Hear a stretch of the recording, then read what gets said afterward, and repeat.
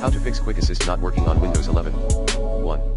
Ensure your Windows system meets the minimum requirements for the Quick Assist app. Upgrade your hardware if possible.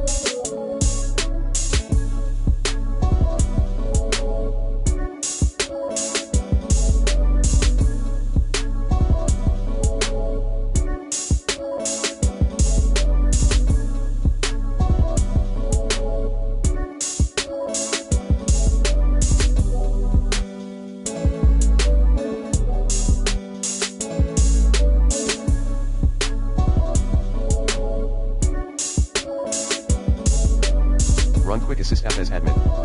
3.